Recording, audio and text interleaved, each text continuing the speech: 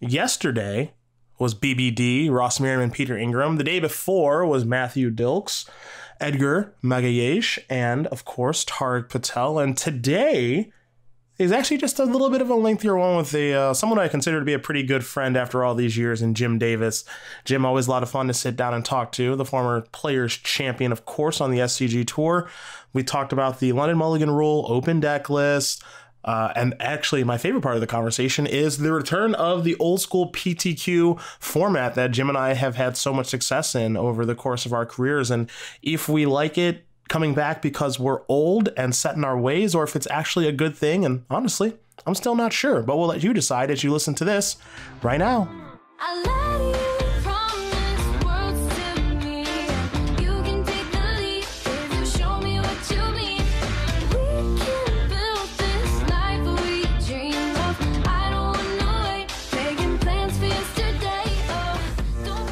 All right, it's day two, which you are in. Yes, Is your record good? I'm X and three. Okay, that's good. And you haven't lost today, Yes, right? I had a, a weird day yesterday where I felt like my deck was awesome and I played great, and I was just excellent. Uh, Jim Davis, by the way, former Players Champion, hopefully qualifying for this year's Players Championship. We'll see. A little behind at the moment. A little bit. I've been basically in 17th place all year. Can't can't get that can't get that second buy, you know. So uh, yeah, we're floating we're floating around, you know. If I win this, do well at the NV. Are you gonna go? Are you going to um, Syracuse or Louisville? Definitely Syracuse, Louisville's a maybe. Okay, and then obviously Rich or Roanoke, obviously. Of course, yeah, you're going to that. Okay. Uh, so you're X and three yesterday. You're X and three now. So that means you are eight and three Yes. with Gruul Aggro. Mm-hmm. Talk to me about this deck. So on Thursday, I played in the Fandom Legends tournament. Super awesome, like arena tournament uh, series, like 16 players every week on Thursday. And I played Abe Stein's Big Red deck. I didn't really have time to like test too much. I was streaming all day Wednesday. It's like that deck looks cool. I'll play that, and it sucks. Abe's great. I think the deck is not necessarily bad in a vacuum, but in the, the format as it is, you can't be playing the card treasure map. You can't be dirtling around in the early turns. You need to either get ahead and stay ahead or have some sort of big late game plan. And what I did like was the red planeswalkers were really, really good. Uh, the new Chandra's awesome, the new Sarkhan's awesome, but they're very red planeswalkers in that you, you want to play them when you are offensively like attacking and getting ahead because they're really good when you're ahead. Okay. If Chandra's damage ability is relevant, removing it's just like insane. You Sure. just can't, just can't attack it. Yep. You know, and then Sarkhan, same thing. And early Sarkhan is so much pressure. So you can't play them like Vivien Reid. You need to play them more like you know other Chandra or just more aggressive things. So casting them early and, and often was great. Uh, Llanowar Elves is great. Most of the Gruul decks have been either like Steel Leaf Champion decks splashing red or Chainwhirler decks splashing green, and so they either can't play the red planeswalkers or can't play Llanowar Elves, and I wanted to do both. So playing Llanowar Elves, Paradise Druid also helped a lot because the mana base isn't perfect. With only eight dual lands, your sources for green on one and then double red on turn three or four is a little light, and Paradise Druid helps that a lot. 'cause Taps for either color. Okay. Um, Planeswalkers were great. The Domri's pretty good too. Uh, three mana Domri. It's not a card you can play a lot of, I don't think. Yep. But it makes Legion Warboss really good. Pumps the tokens up. Okay. Um, un- uncounterability is nice. Extra mana is nice. The removal is nice. Just like a very nice package for three mana. It does a lot of little things well. So deck seems great. I'm really really happy with it. Good matchups. Bad matchups. It's really good against Nexus. It's good against any deck that can't remove Legion War Boss. I think it's fine against the aggro decks. I think it's not great against Esper Control. I played against Esper twice yesterday. Games are weird where like I mulliganed a few times, felt like I played good. It was like just a little bit short each game. So it's definitely winnable, but it's it's tough. Um, but for the most part, I think decks that are not killing your war bosses are great. Decks that fall behind are great. Um, like the new Bant deck, people are playing. Um, mid rangey, yeah, kind of flashy like, deck. They just Yeah. have no removal at all. Yep. Each war boss all over them. I just played against uh, a mono green deck splashing blue. War boss can't kill it. Yep. You know, Sarkhan, which is insane. Um, so I think for the most part, most of your matchups are reasonable to good, and even the bad ones seem fine because against Esper, you still have eight planeswalkers. You still have, you know, Phoenix and a reasonable curve and Spellbreaker and stuff, and you can just kill them. So deck seems pretty sweet. I'm, I'm very happy with it overall. I don't really see like a major, major hole in it. So I'm happy. Okay. Well, if you're happy, that's good. Yeah. Right. That's a step in the right direction. I know that Sarkhan card is actually pretty good. I think Yeah. like not enough talk about that. No one's not. No one's really sure what five drop to play. There's Siege Gang Commander. There's Skarrgan Hellkite. Sarkhan seems pretty busted. Oh yeah, like when with other planeswalkers too. Like I had a game on uh, Arena a day or two ago where I had Domri, Chandra, and Sarky, and attack for 15. Yeah, sure. You know, just like They're just it's just like silly games. You Yeah. know, like and um, the ability to either a play it it comes and play with a planeswalker already in play and attack, or Yep. b just like make a dragon and attack for a million the next turn. It's just it's just really really awesome. And the passive is good too. Like there's a lot of excellence in the format. You know, in mono red and mono white.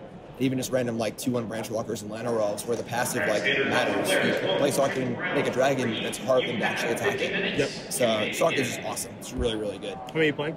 Playing two. Okay. I wish I could be playing 2.5 Sarkhans and 2.5 Chandras. Sure, I've been there. Yeah, like I, I played three Sarkhan, two Chandra for a bit on Arena.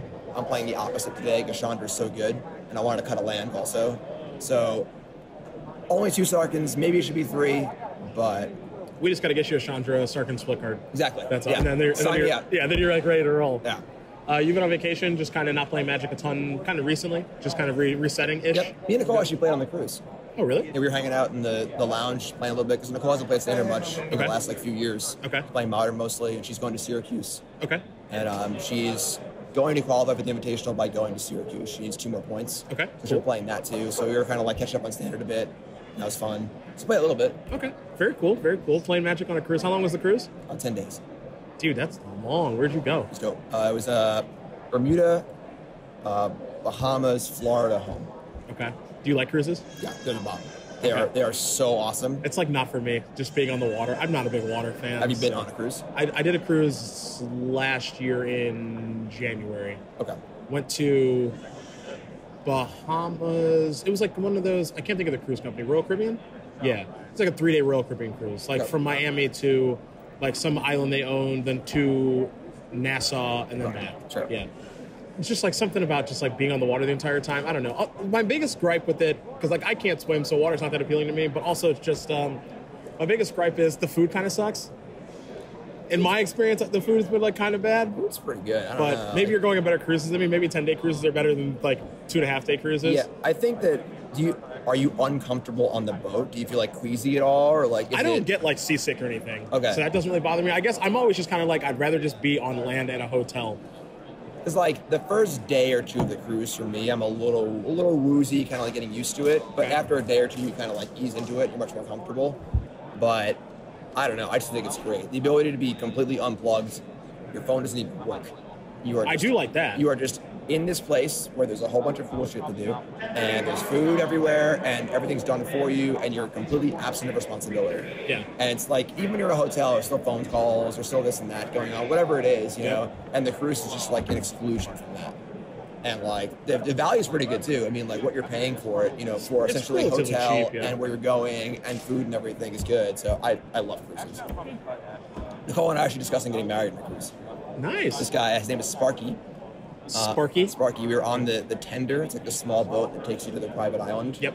And we were talking to him, and he said that his uh, his son got married on a cruise, Okay. and he had like paid for it. Okay. And like instead of spending twenty grand on a wedding, you just like invite 30, 40 friends and family, get like inside staterooms for everyone. Okay. You get like a package deal. You get like a suite for booking it yourself. Okay. And then like you just go on a cruise with all your friends and family for seven days.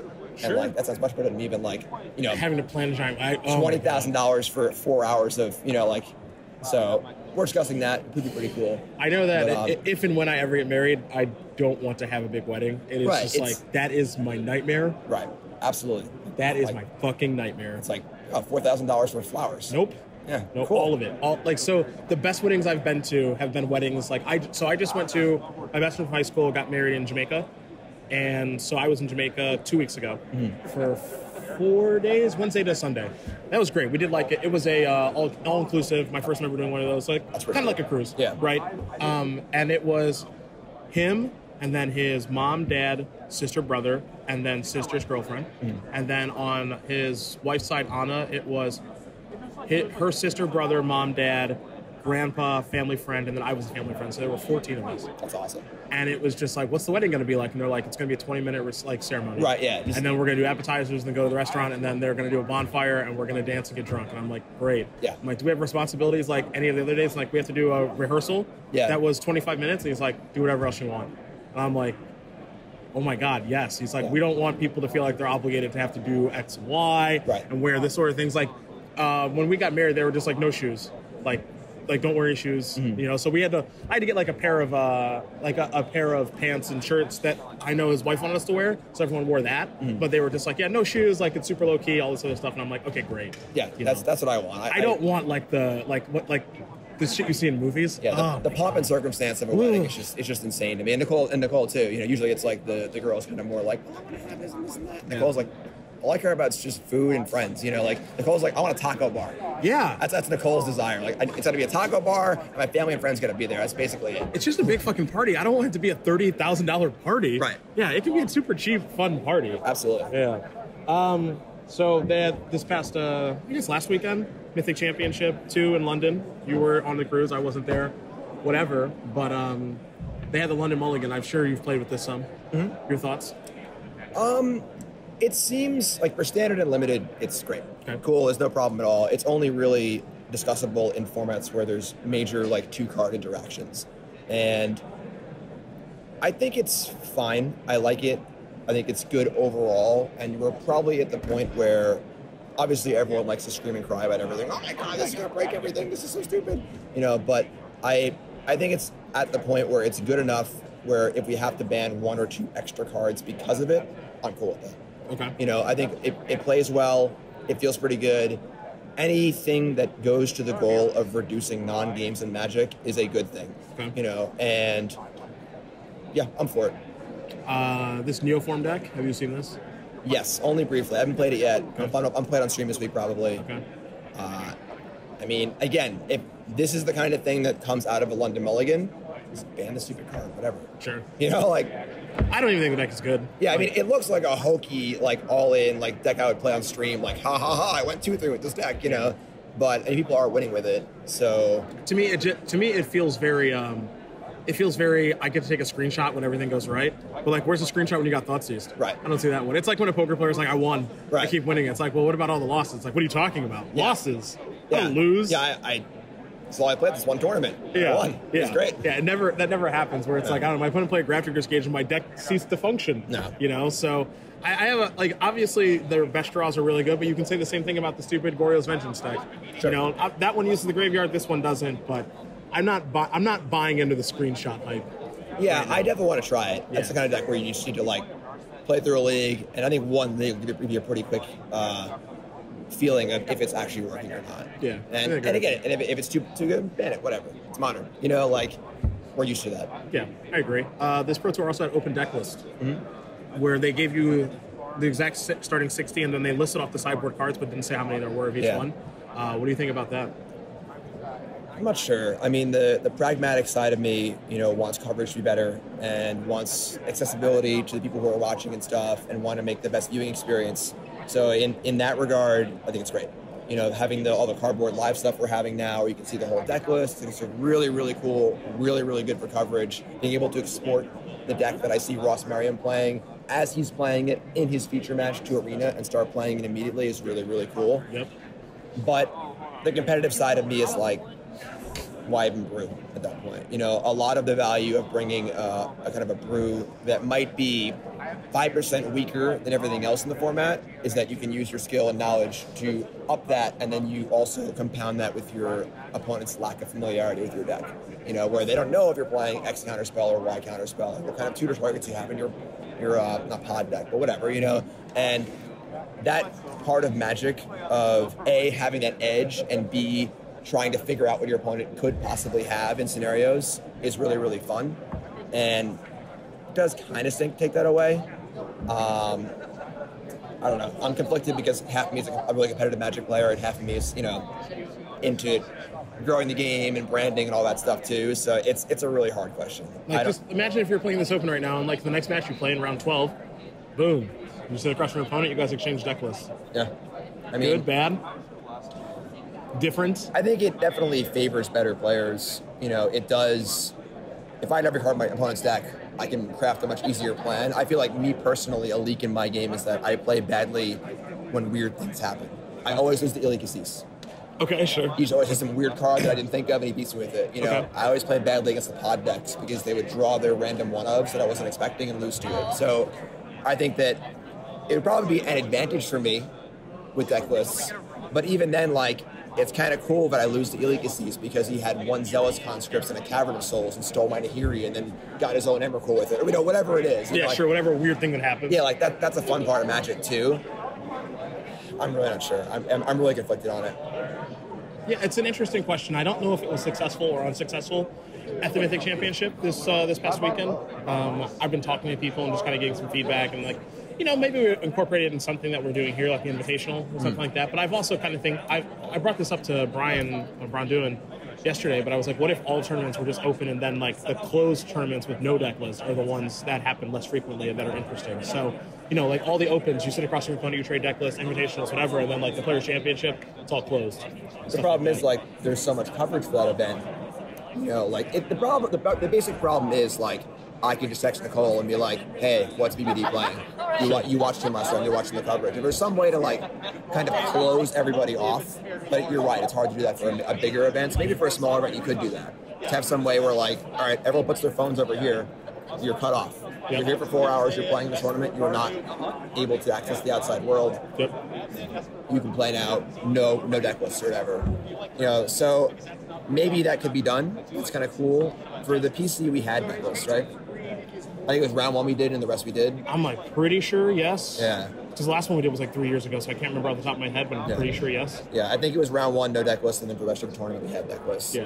Um, yeah, if there was a way to do it where there wasn't deck lists, I think that's cool. And then I guess maybe having it so it's a once in a while thing, so people feel extra incentivized to like be sneaky and try and like get them. You know, um, like you know, people play one Censor in their control deck. Yeah, yeah, yeah. you know, and stuff Yep. like that. Like that's not going to happen with with, with Equus out, out in the open. I guess maybe maybe it will. That's, that's a bad example, but I don't know. I think it's probably too hard to do in a big tournament, but in a smaller event, maybe it could be possible. It's cool. What do you think about War of the Spark? It's great. Yeah. Yeah, I think that the Planeswalker design is awesome. I'm getting really really sick of like the generic five mana like Teferi Vivien Planeswalker, where Plus, it's like plus minus. Yep, Yeah. plus one draw, minus three kill, Yeah. minus eight win. Yeah. Like goes six loyalty, and like that feeling of you're a little bit behind, and they play it, and you're just like, I just can't attack this thing right now. Like I'm just, I'm so behind. I just sit here and watch them draw a card every turn. There's no like tension. There's no like the gameplay pattern just sucks. I'm just like, all right, draw a card, draw a card, draw a card. You know. So I'm happy they're moving away from that. Oh, it is funny that Bolas is like literally just that. But this is Yeah. hard. He's hard to cast. At. You know, He is, he is hard to cast and five mana and you know has some other powerful abilities too. Right. But yeah. Yeah, but the fact that like the new planeswalkers are much more interesting, you know, they're more. Don't just put it in your deck. You know, Yeah. Domri's in my deck for a reason. You know, I'm, I'm going to play it early. It ramps me. Not every deck wants Domri. Yep. You know, and so on and so forth. Sarkhan's kind of similar, and the designs of the planeswalkers in the set is really cool. Like cards like Narset, the smaller Teferi, things you don't want all the time. Maybe like the cute little one or two of. Like it's just cool. There was a lot of cards that are kind of had me excited to build around. I spent 16 hours on Wednesday streaming. I played 10 different decks Okay. and I showed like a crazy brew stream, and I feel like I've barely touched the set. There's so many things I want to try. I haven't gotten to do yet. So the set's really cool. It's powerful. A lot of interesting cards. A lot of cool stuff going on. Seems like a, a huge hit overall. And the whole like storyline thing is cool. Storyline You know, is great. Yeah, it's it's very Avengers esque. I keep like referencing like you know Nicol Bolas as Thanos in my videos and my articles and stuff, and and it's it comes at a good time because everyone's so hyped about that. Yep. Uh, but it's cool. It makes me actually care about the characters a little more and kind of want to know what's going on. I'm like, oh, you know, Liliana did what now? This is kind of cool. I didn't know she was into this or whatever it is. And they've done a good job spoiling it as well. They, I know when they released the previews, I had a preview card, and they were very specific. They're like, you must release your card on, this this day. specific day Yep. because it's coming out in waves, and we can't spoil the story at the end. Yep. So that was really, really cool. Um, honestly, just a home run across the board. Yeah, I think they did a really nice job with this one. Set seems really, really good. Uh, I'm looking forward to like kind of playing it. I have a I have a PTQ in two weeks. Old school PTQ. Yeah, We, yeah. we have one on Long Island like next month. I'm so stoked. Yeah, I have. Um, it's a back to. So this coming weekend, I'm out of town, and then two weeks there's one on Saturday and Sunday. Mm-hmm. One in Tacoma, which is like 45 minutes from my house, and then one in Spokane, which is three and a half hours. And so I'm gonna be playing in both of those, like Sweet. like I'm 24 again or whatever. Oh yeah, I'm I'm pumped this Long Island PTQ. I, I do. I love. I love a one slaughter Yeah. more than life itself. oh for sure. Yeah, I don't know why, but I just the RP the PPTQ RPTQ system. Even though I was qualified for all the RPTQs, something about it just like did not resonate with me. But something about just playing in an old school one slaughter, everyone like X. X people are going to be mad. One person's going to be happy. that one person has been me 14 times. It's just like that's fine. Yeah. It's totally fine. Yeah, it's just knowing you're going to start your day, eat breakfast, walk into a room, and by dinner time, you either have a slot or you want the slot. Yeah. That's it. Yep. Like PPTQs were like, I'm gonna play with F and M, and I literally have to win the tournament or I feel bad. And then once I win, I haven't actually gotten anything. Yeah. I have to schedule another thing for another week. It's just like, ugh. I just can never play in them. I mean, my life's already busy anyway, but PPTQs were just not even an option. I remember I played in one that was like, I don't know, 13 or 14 people, was mega soft. Right. Lost in the top eight, and I'm like, this was a total waste of a fucking right. You day. feel, you feel awful. Yeah, and I never felt that way about playing in a PTQ, Mm. but I felt that way about playing in a PPTQ like quite a bit. You have to win. Yeah. If you don't win, it's a total failure. But you have to win a PTQ too. But but like, at least you know you had your shot. You know, you played in your PTQ, and like you knew you were live for it, and you, you did whatever whatever happened happened, and now you lost. Next week I'll play again. Sure. You know, the, but the PPTQ is just like there's not even like a prize at the end. It's like you know, It doesn't like, feel like it doesn't feel like I won something if I won it. Right. Especially in a PPTQ, I, I feel like if I don't win it, I'm just like, wow, that's embarrassing. Right. the PTQ, it's like I don't know, this is hard. Yeah. And if I won it, like that was an accomplishment. Where a PPTQ, I have this weird expectation of if I do not win this, I'm gonna want to jump off a bridge, which Right. Isn't the way I should probably feel, but it's the way that No, I would but, feel. but it is though because you're you're just playing this small event you wouldn't usually play, and like you just literally have to win. There's no other, you know, and they're usually they are usually soft. They're usually they feel like an F and M. So like you can't win this F and M, you can't play in the tournament you want to play. Yeah. You know, like yeah, and also in the old school PTQ, it's like you just get to watch your friend win, or someone's gonna win, someone's gonna be really happy, and you get to kind of be, be there for that too. Yeah. You know, like and like watching your friends in top eight's really cool, or someone usually wins. You know, you're you have the car ride home with the winner in the back, like that feels awesome. So it's cool. I'm very, I'm very excited. Weirdly, to play these. You know, like, am I gonna test? I don't know. Like, I don't have that much time, whatever. But I'm gonna go to both of them, and it'll feel. I think it's gonna feel like pretty good yeah, to I'm, play them again. I'm hyped. Like the one I played in in Grand Prix Oakland that I top eighted, where it was like you get to five vote him at top eight, Yeah, to go dude. undefeated, and then like you know you play the top eight. It felt like kind of like an old school PTQ. Yeah. Like I made the top eight, lost in the quarterfinals, and I was like pretty pissed when I lost. And then Sperling won that one, and that one got him to his PT Sure, yeah. runner up or this MC runner up in London. Yeah. Like you know something about that just felt like this is what I'm used to. Yeah. You know, I don't even know if like that's the best system. It's just the system I'm used to. That's the hard part is trying to separate. Is this just what I'm used to doing because I've done it for so long, or Yeah. is this actually better? Yep. You know, and I, I think it is just actually actively better. you I think it's better than the PPTQ RPTQ system. Sure, I sure. will say that. I don't know if it's the best thing, but I, I just don't know who really enjoyed that system for what it's worth. I don't think anybody. And it's funny because I think it was actually much easier to qualify in that system I think it was easier too. because the the PPTQs were always very soft, and then a lot of the better players didn't even want to go to them. So like, so I played. I actually played more RPTQs than I played PPTQs probably, Same. and most of them were very soft, and like they were northeast RPTQs. Like you, that's an area where like winning a PTQ in the northeast back ten years ago was like a big deal. damn man Yeah. you know and these rptqs like the first one i played in was in boston-ish area me and pete ingram went and i think adam snook and like i think chase kovac or something was there and that, that was it everyone else in the room had no idea who they were maybe maybe they're good maybe they're bad i don't know but Sure. like when there's only four semi-name players in your entire rptq when your old ptqs were like you could rattle off 30 40 I mean, names once you know? look at the tables at like round five or six in an old PPTQ, old PTQ, you're like, Right. all right, it's on. Yeah, yeah, it was murderers row. Yeah, yeah, it's it's fucking on right, Right. now. Yeah. Yeah. I missed that. I missed that For a sure. lot. Yeah, there was just there was back in the days of like when I was in college, like looking at the top eight, you would look at the top eight of the PTQs to see who made it. Right. Right. You'd be like, okay, like this person's really good. This person's really good. What's their deck so I can play it in this like next event, stuff Right. like that. It was just never. I didn't look at PPTQ results or RPTQ results. I didn't care. Oh yeah, right. Yeah. Yeah. I mean, me, me and Pat were, were uh, out last night discussing this too. Like, there was also this feeling of just like, you go to PTQ, these are the grinders from your area. I'm from Long Island. You know, you're from Jersey. You're from New York or whatever. You're dead. Yeah. You're coming in here and you're dead. And Yep. Me and my car from Long Island are coming in. We're gonna put three of us in top eight, and one of us is gonna win, and you guys are dead. Yeah. You know, and that, that kind of like really competitive, like cutthroat feeling, you just don't get that. in No, you don't. Get, I don't even know if you get that that much even anymore. Maybe, maybe, maybe not. Maybe Yeah. that's like a relic of a, a different time. Yeah. But like, I just miss that. Like I was saying to Pat, like if I could like bottle that feeling and buy it, Yeah. I would. Oh yeah, I would chug on it. I, I used to love walking into like the like the Chicago PTQs from Indy Mm. or whatever, or like the Columbus ones, and just you know with my car people, and it's like well, one of us is winning, so fuck all you people. Yeah. like that's what's happening. Right. we're going to Louisville, which was a soccer PTQ. Mm. That always just like felt really good. It's just like yep, taking this, we're gonna go to the next one, gonna run the victory lap, which is me. Yeah. I qualified to hang out with all my friends, hope one of them qualifies. Like Yeah. yeah, that was that was fun. Or like, and it was also the the verse too because like when I was when I was in college, there was a really good group of players in Iowa: Brandon Shield, Matt Hansen, Steve Locke, who started playing Magic and has won two Grand Prix, um, and like a couple other people in that area.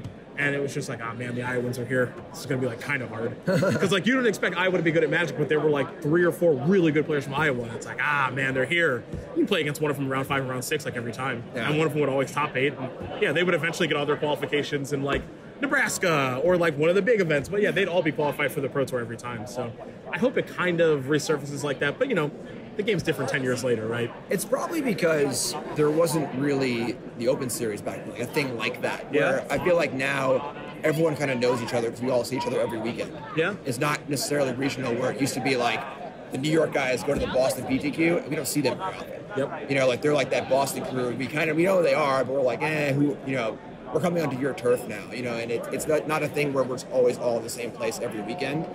That might be part of it. I always liked too, where like you didn't know if they were gonna come. Sure. It was until like like, walked in the door and you're like, all right, like these guys are here. This Boston guys just, are here. Let's go. this just got like a little bit harder, Yeah. you know, like let's, when the let's rumble. Yeah, like when the relevant people like walked through the door, you're like, all right, dope. Like this just got a little more difficult, or like this sucks that it got more difficult, whatever. I always did remember that too. When you know random people walk through the door, I'm like, ooh, all right, here we Yeah. go, yeah. So I'm curious what it's gonna be like um, with the return to this, but I am excited for it. Yeah, I'm stoked. Um, favorite card or favorite card or um, what you think the best card is from War of the Spark? Um, that's tough. I feel like the set's pretty well evened out, where there isn't necessarily like one like Hydroid Krasis card. Um, I like obviously Chandra and Sarkhan a lot. I'm obviously playing them. Nicol Bolas is really good. I think it's really good. yeah. I think the problem with Nicol Bolas is like finding the right shell around it. But like when that card's in play, oh my god, it's even more demoralizing than Teferi or whatever or Vivien because you're like also draining their resources from their hand or play, and like it's just really really good. I played a lot of Grixis decks uh, on Arena over the week. Um, the power level on that card is huge. Yep. It needs to have a shell around it because it's so restrictive. Um, that's all I got. no one's found the shell yet. I don't, don't- think. Yeah, and I don't think people are huge on on Teferi. I don't think Teferi is like that good. I think it's more like good in a lot of matches and like kind of mediocre in others. Maybe I'm wrong. You can quote me on it now because I'm on the record. but um, yeah, I don't know. Nothing really jumps out at me besides like the Red Planeswalkers. The answers, the answers are varied. There's some people who are really big fans of Teferi and think it's like far and away the best card. Yeah, I've heard that from a number of people. And like I feel like half people say that, and half say like sideboard card. Yeah. it's fine. Yeah, I can't figure it out. I mean, it's looked good on camera a couple times. It's looked better than I expected. Yeah. The you know draw phase, draw phase, um, Thought Erasure, Yeah, or you know instant instant speed, uh, enter the God Eternals. Like okay, that's like pretty good. More importantly, Ross, are you winning? No, I played against two mid-range decks, and my deck can't beat other mid-range decks. you got Hobbs real good.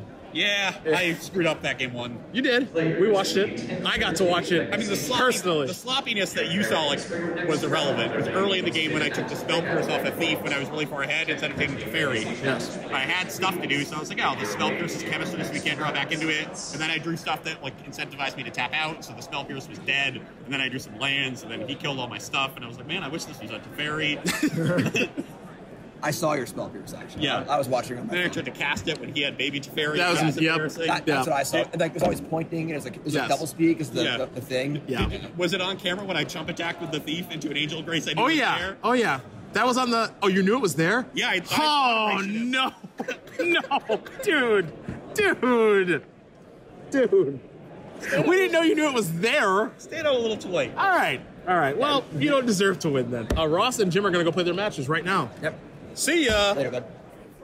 Me and Jim, I think honestly, we could we could talk about Magic forever. That was 20 plus minutes of us just hanging out and doing our thing and looking forward to the new PTQ system. I've got two to play in next week here in Washington that I'm actually really looking forward to playing in. Have no idea how I'll do, but um, I've weirdly always excelled in those tournaments. I think I've won 14 PTQs between uh, real life and, Ma- and Magic Online. So, you know, what's a 15th or whatever the large number is? It'd be cool. So, looking forward to it. One in Tacoma and one in Spokane. Um, bit of a drive there Sunday morning uh, from Bellevue to Spokane, like three and a half, four hours maybe. Maybe I should drive the night before. Who knows? Either way, I'm rambling. Um, Stitcher, SoundCloud, podcast app, iTunes, Spotify is where you can find the pod. Patreon.com slash the Cedric, Cedric Phillips podcast. Pardon me.